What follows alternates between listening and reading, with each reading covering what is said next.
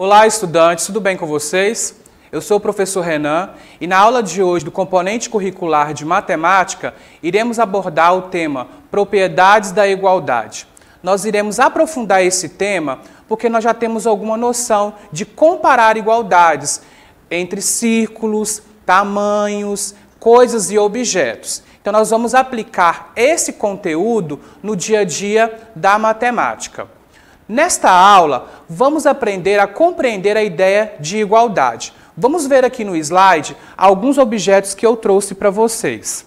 Então, eu posso fazer compara essa comparação entre objetos. Olha só, podemos dizer que esse lápis é igual a este lápis aqui.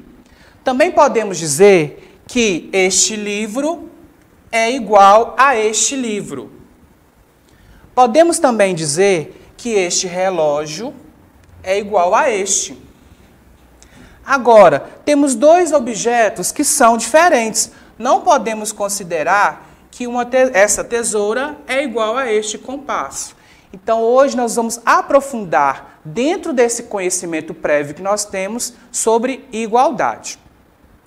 Para estudar esse assunto também, eu trouxe para vocês os sinais de comparação. Algumas atividades da plataforma trouxeram esses sinais para que vocês comparem algumas sentenças. Então, nos sinais de comparação, quando eu tenho esse sinal apontando aqui para a minha direita, eu vou dizer que a minha sentença é maior que. Quando eu tenho esse, esse sinal apontando para a minha esquerda, eu vou dizer que a minha sentença que eu irei comparar é menor que. Esse sinal, vamos comparar sentenças de igualdade, e este sinal aqui, nós vamos comparar sentenças diferentes. Então, você pode usar esses tipos de sinais para comparar coisas e também comparar algumas sentenças matemáticas. Então vamos olhar aqui alguns exemplos que eu trouxe para vocês. Eu posso dizer que 8, o sinal que nós vamos utilizar é o quê? De maior. 8 é maior do que 5. No outro exemplo, eu vou dizer que 13 é menor do que 25. Então, eu uso o sinal apontando de menor para a minha esquerda. Eu posso dizer também aqui que 100 é igual a 100. E no último aqui, eu posso dizer que 12 é diferente de 13. Então, dependendo da sua atividade que estiver na plataforma, você vai utilizar conforme o que está pedindo ao enunciado. Que, por exemplo, aqui eu posso dizer que, além de 8 ser maior do que 5, 8 também é diferente de 5. Podemos dizer que 13, além de ser menor do que 25, ele também é diferente de 25. Então, isso vai depender da forma como o enunciado, o exercício trouxer para você usar os sinais de comparação. Então, eu trouxe aqui para vocês, agora, as propriedades de igualdade em conjuntos. Observe aqui que, como posso falar, que eu tenho membros. Então, eu tenho aqui o primeiro membro, e aqui eu tenho o segundo membro, o que está depois da igualdade. Então eu trouxe um conjunto de seis estrelas mais quatro estrelas, para a gente fazer a comparação de igualdade depois da sentença aqui do sinal, que são 10 estrelas. Caso você tenha alguma dificuldade, é só transferir o conjunto de numéricos para números. Então, tenho aqui 6 mais 4, que é igual a 10. O que, que eu quero dizer com isso? Não é simplesmente fazer a operação. Eu tenho que olhar a situação e entender que tanto esse conjunto é igual a esse conjunto. Porque se eu fizer fazer a soma 6 mais 4, 10. 10 é igual a 10. Vamos ver um outro exemplo que eu trouxe para vocês. Eu tenho aqui um conjunto de oito joaninhas mais duas joaninhas, que depois do sinal da igualdade eu tenho 10. Então, essa equivalência se estabelece um termo de igualdade? Sim, eu posso dizer que esse primeiro membro é igual ao segundo membro estabelece um termo de igualdade. E assim nós vamos continuar vendo, porque nós temos diferentes formas de chegar ao mesmo resultado, estabelecer uma sentença de igualdade, onde eu posso ter diferentes números, fazer soma e, e diferentes subtrações para chegar no mesmo resultado. Agora eu trouxe para vocês aqui para a gente fazer a comparação. Lá no grupo de estrelas, eu tinha 6 mais 4 no primeiro membro, e lá no grupo de joaninhas, eu tinha 8 mais 2. Fazendo a soma, eu tenho 10 estrelas e tenho 10 joaninhas. Então, preste atenção, eu tenho diferentes formas de chegar no sistema de igualdade. Ó, fiz 6 mais 4 e 8 mais 2. Chegamos ao mesmo critério de propriedades da igualdade. Outro exemplo é com a subtração. 4 balas menos 2 balas. Eu tenho aqui, depois da igualdade, somente duas balas. Estabelecendo um sistema de igualdade, podemos perceber que este conjunto é igual a este, porque eu vou ter aqui uma sentença de 4 menos 2, que vai dar 2, que estabelece o sistema de igualdade. 2 é igual a 2. Então, além de reconhecer a operação, eu tenho que identificar que o mesmo grupo é igual ao outro. Existem somas e subtrações que representam a mesma quantidade.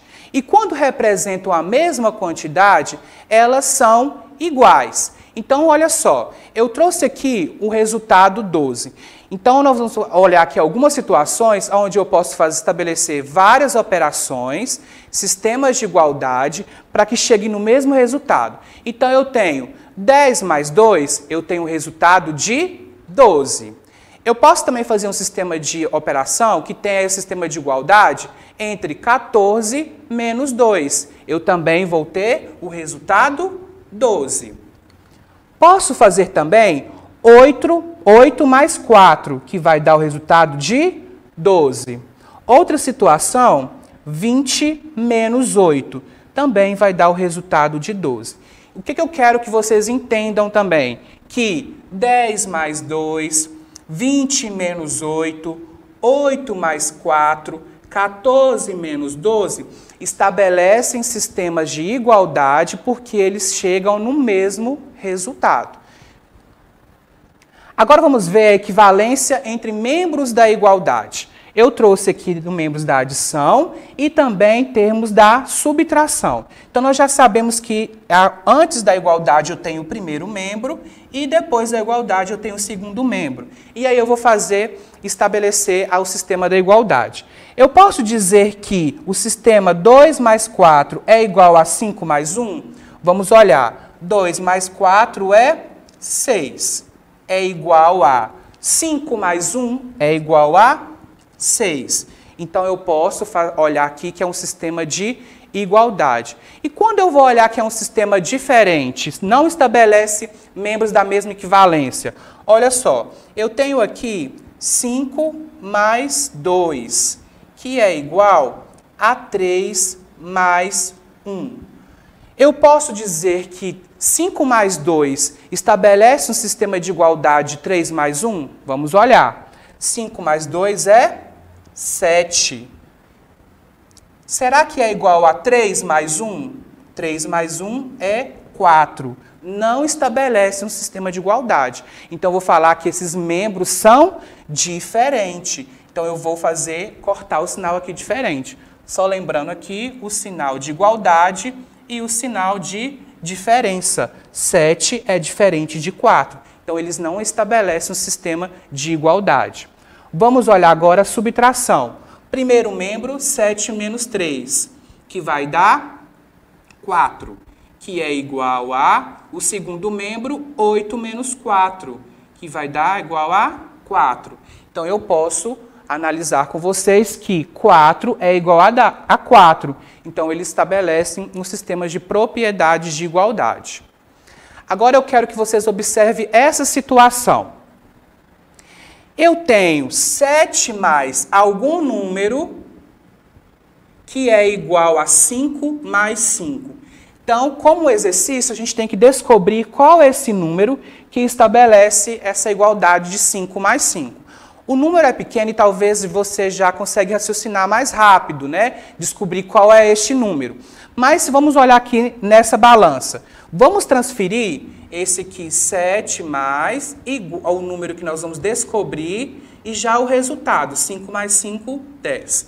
Então vamos transferir aqui como objetos para que a gente possa conseguir identificar também com mais clareza. Então eu vou colocar 7 bolinhas aqui desse lado. 4, 5, 6, 7. Vamos deixar em branco, porque nós vamos fazer agora estabelecer com, a, encontrar o equilíbrio. Vamos trazer agora, então, 5 mais 5 para cá, que vai dar 10. Então, vamos colocar aqui 10. 3, 4, 5, 6, 7, 8, 9, 10. Para que essa balança fique em equilíbrio, como eu, eu falei anteriormente, você pode já descobrir que o número, qual o número seja. Mas como a gente pode fazer? Eu vou transferir novamente aqui 7, 5, 6, 7. E vou transferir para cá, na outra, na outra balança, a quantidade de 10. O que, que vai acontecer? Para que essa balança fique em equilíbrio, você pode ver aqui que está mais pesado o lado do 10. Então, está em desequilíbrio. O que, que a gente pode fazer? Vamos cortar um de cada lado e descobrir qual é este número. Então, vamos lá. Corta aqui um, vamos cortando. Para que a gente descubra qual é o número que vai estabelecer o nosso sistema de igualdade. Então, sobrou quantas bolinhas? Três. Então, para que eu possa colocar o sistema de igualdade aqui, eu vou inserir mais três três bolinhas. Então, ficou 10 bolinhas de cada lado. Então, nós descobrimos aqui que 7 mais 3, que é o número que nós precisávamos descobrir, é igual 5 mais 5. Então, eles fizeram o quê? Estabeleceram um sistema de igualdade. Então, vamos praticar. Eu trouxe dois exercícios que estão na plataforma para que você possa fazer em casa e também ter critério para fazer os próximos. Vamos analisar junto comigo. Augusto ganhou 50 reais de sua mãe e 25 reais de seu tio. Já Antônio, seu irmão, ganhou 36 da mãe e 39 do tio. Quantos cada um ganhou? Então, primeiro nós vamos fazer o quê? Estamos trabalhando propriedades da igualdade. Então, vamos lá. O Augusto ganhou 50 reais mais do, né, da sua mãe e 25 do seu tio. Já o seu irmão Antônio, ele ganhou 36 reais da sua mãe e 39 reais do seu tio. Será que esse sistema estabelece de igualdade? Vamos olhar. 50 mais 25, 75, que é igual a 36 mais 39, também é 75 reais. Então nós descobrimos que, apesar deles ter ganhado diferentes valores do tio e da mãe, cada um, eles estabelecem sistema de igualdade, porque ganharam a mesma quantidade. Só que o problema, a situação problema, pede o seguinte: para identificar a sentença que estabelece uma relação entre a quantia de Augusto e de Antônio. Então nós vamos marcar a alternativa que é verdadeira. Então, é lembrando, esse sinal aqui é o de menor, apontando para a minha esquerda. O, esse aqui é o de igualdade e esse daqui é o de maior. Então, nós temos que ver qual é o sistema, se é sistema de igualdade, maior, menor ou igual ou diferente. Então, 50 mais 25 que Augusto ganhou é menor do que 36 mais 39 que o Antônio ganhou? Então, é falso porque eles estabeleceram o sistema de igualdade. Então, o valor que Augusto ganhou não é menor do que o valor que o Antônio ganhou. Então, essa, essa assertiva é falsa. Então, vamos olhar a segunda assertiva. 50 mais 25, que foi que Augusto ganhou, é igual a 36 mais 39, que o seu irmão ganhou, Antônio? Sim, eles estabeleceram um sistema de igualdade, o mesmo valor. Então, essa daqui é verdadeira. Vamos só analisar a última porque nós já encontramos a verdadeira. 50 mais 25 é maior que 36 mais 39? Não é diferente, não é maior, na verdade, desculpa, não é maior, é falso. Por quê? Já que nós descobrimos que eles têm um sistema de igualdade, não quer dizer então que o sistema deles aqui é maior do que o outro. Agora vamos analisar essa outra situação nesta balança. Observe a balança abaixo que está em equilíbrio. Então, mesmo que tenha caixas diferentes em cada, cada balança, em cada lado da balança, cada uma dessas balanças tem o peso de 400, 4.500 gramas. Então, vamos analisar aqui o que as assertivas pedem. Quantas caixas podem ser retiradas de ambos os pratos, de modo que a balança continue em equilíbrio?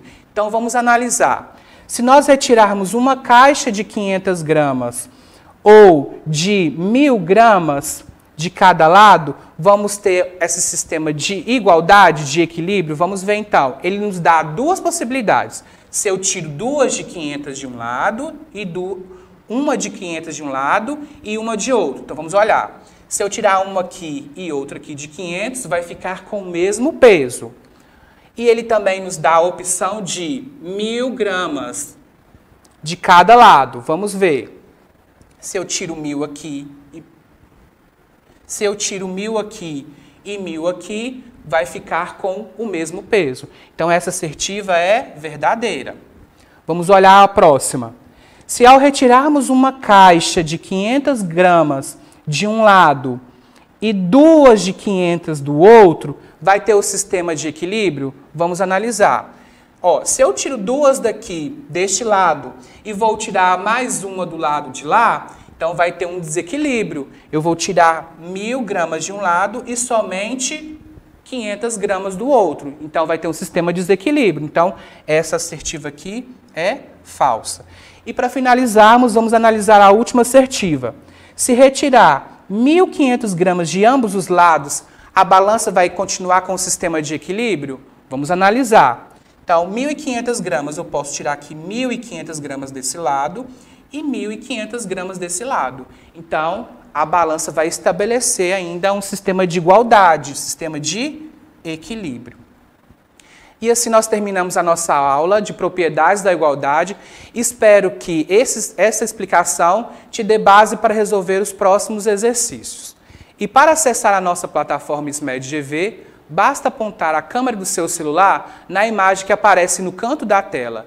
E se inscreva em nosso canal no YouTube SMED GV. Um abraço e até a próxima aula.